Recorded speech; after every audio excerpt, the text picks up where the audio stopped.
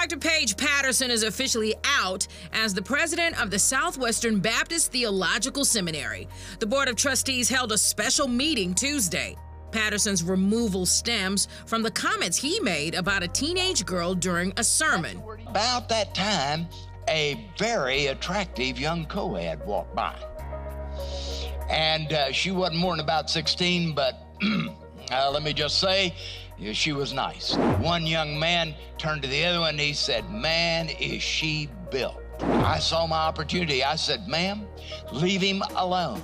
He is just being biblical. These comments, which were made at the Awaken conference in January of 2014, recently resurfaced amid the Me Too movement.